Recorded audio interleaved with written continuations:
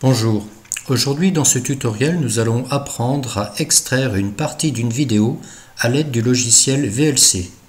Nous verrons également comment prendre une capture d'écran à partir de la vidéo.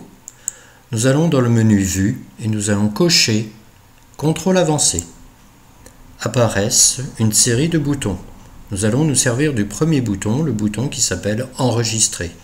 Quand je clique dessus, j'enregistre et je démarre l'enregistrement de l'extrait.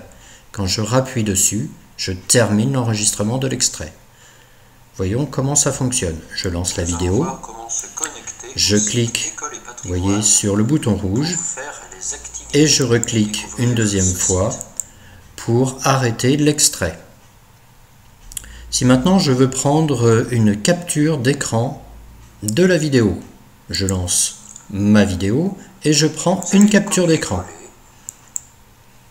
Alors maintenant, où se situe l'extrait vidéo et la capture d'écran? Eh bien tout simplement dans le dossier vidéo et dans le dossier image. Allons voir où ça se trouve. Donc voici le dossier vidéo. On voit ici hein, VLC Record. C'est tout simplement un enregistrement de l'extrait.